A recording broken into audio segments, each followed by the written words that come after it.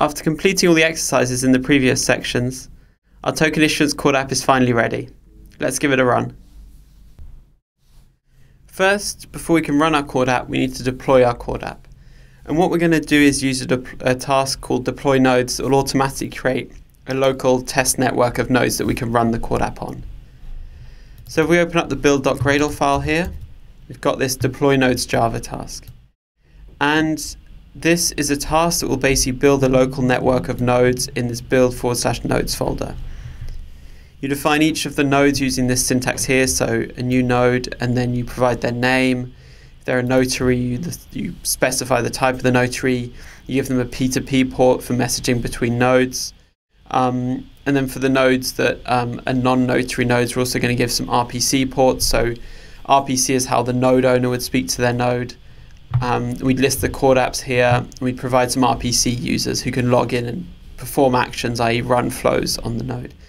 So we've got a party A here in London on uh, messaging on port 10003 and available to connect to via RPC on port 10004. We've got a party B, etc., etc., party C.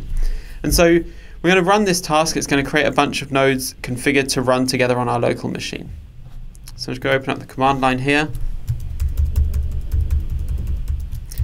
So I'm just going to move to where the bootcamp CorDapp folder is.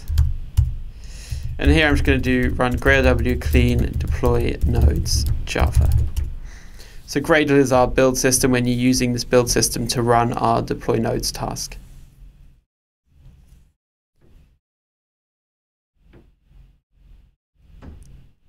So it takes a little while, but we can go and look at the outputs once they're done. So here we're creating uh, four directories, one for each node. So a notary node, party A node, party C node, and party B node. And we can go and inspect what that looks like. So you can see each of the folders here.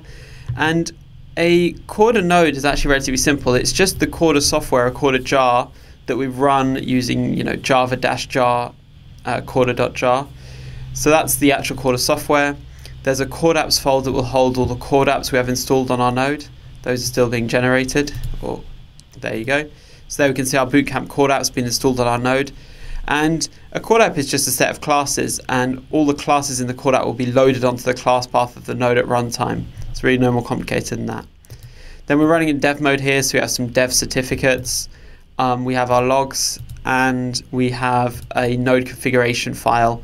So here's all the information about the node. We also have this persistence.mv file, so this is the database file used by the node, um, and it will store all the transactions, the states, etc. So now we can run our nodes using this script run nodes here. So I'll just do build forward slash nodes forward slash run nodes.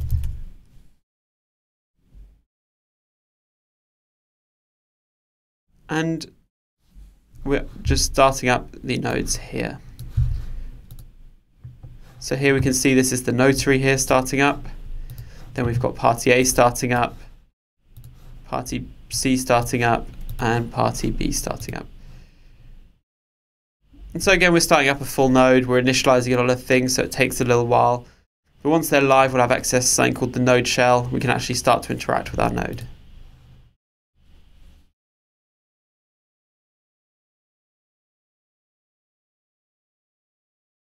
And there we go. So now our node is live. And now our nodes are stood up, we can interact with them. So one thing we can do is look at all the flows available on our node. So here we can see our token issue flow, as well as the example flow we uh, provided for you. And if we do flow start token issue flow, there you can see it's, it's asking for an owner and an amount. And so running a flow is as simple here as going token issue flow and just providing an owner, perhaps party B, and an amount, let's say 99. And here we're just running this from the command line. In practice, you'd connect to the node via RPC and then you'd layer a kind of a, a UI on top of that, provide a server for interacting directly with your node.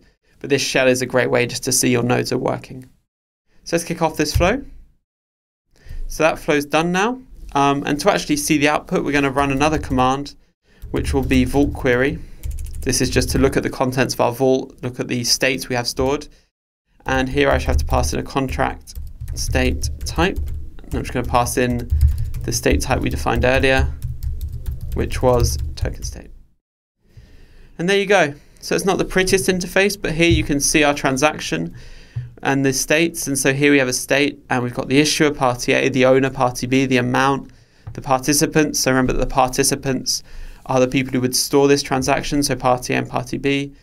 It's governed by this contract, token contract. It's got this notary, um, and so on and so on. So various pieces of information there.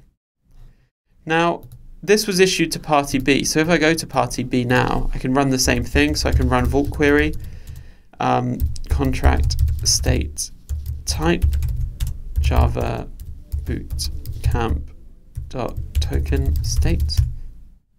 And here I can see the exact same information. So an issuer party A, an owner party B, an amount 99, etc.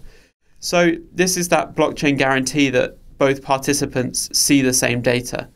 But importantly, uh, Corda is a privacy first platform. And so this was just an agreement between Party A and Party B and had nothing to do with Party C.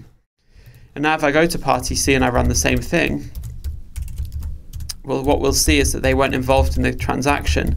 And so they don't actually get to see these tokens.